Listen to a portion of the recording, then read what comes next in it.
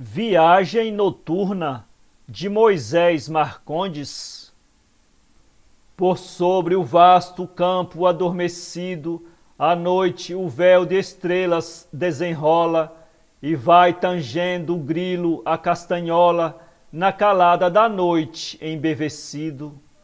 Mas logo da cabana ao ar se evola o compassado canto enternecido de um campeiro que, ao lado do brasido, descanta o doce amor ao som da viola.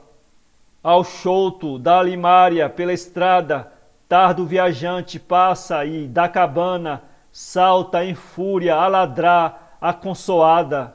Mas breve acalma, a fúria desengana, e vai na noite calma e estrelada a cantar o viajante, uma tirana www.poeteiro.com